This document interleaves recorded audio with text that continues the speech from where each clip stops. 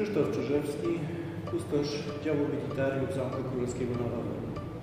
Stoję w tej chwili przed jednym z najcenniejszych zabytków zachowanych w naszych zbiorach, a mianowicie przed zbroją, której historia sięga końca XV wieku.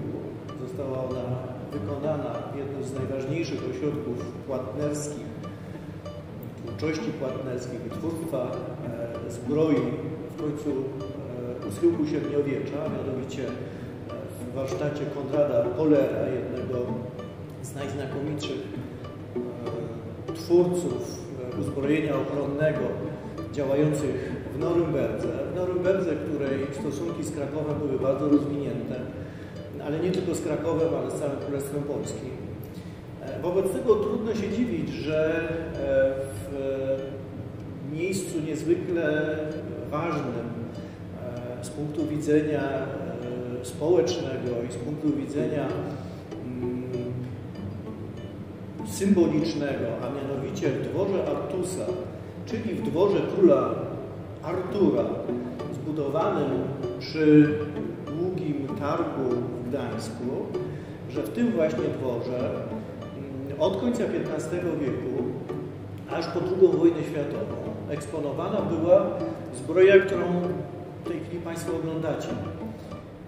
Patrycjusze Gdańska jako elita miejska e, posiadająca ogromne zasoby finansowe mm, dążyła do uzyskania e, no, szczególnego statusu e, symbolicznego, a mianowicie pragnęła zrównania z rycerstwem, czyli ze szlachtą.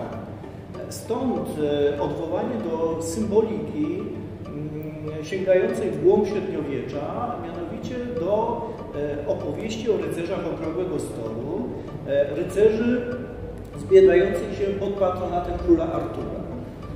My używamy tego określenia dwór Artusa, to jest określenie tradycyjne, ale w rzeczywistości chodzi przecież o dwór króla Artura. Stąd też patrycjusze e, jakby w elitarnych klubach gromadzili się w ławach umieszczonych przy ścianach e, wielkiej sali e, Gdańskiego Dworu każda ława miała swojego patrona. Co charakterystyczne, tymi patronami byli e, najczęściej święci rycerze. Święty Jerzy, a także święty Reinhold. I właśnie z tej ławy pochodzi zbroja, którą w tej chwili widzimy. Ona znalazła się w naszych zbiorach wawelskich w wyniku tego całego zamieszania związanego z II wojną światową.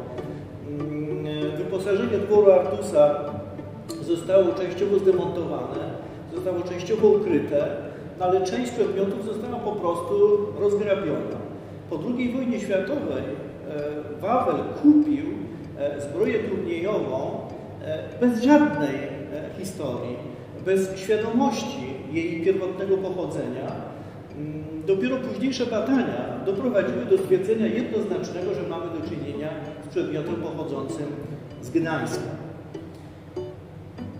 Sama zbroja, jako taka, jako twór płatnerstwa późnośredniowiecznego, jest dziełem nadzwyczajnym. Trzeba e, o tym pamiętać, że zbroja płytowa, czyli zbroja wykonana z dużych e, płyt e, stalowych, kutych. E, to jest e, wytwór myśli technicznej późnego średniowiecza. Że zbroja płytowa kształtowała się na dobre w XIV i XV wieku.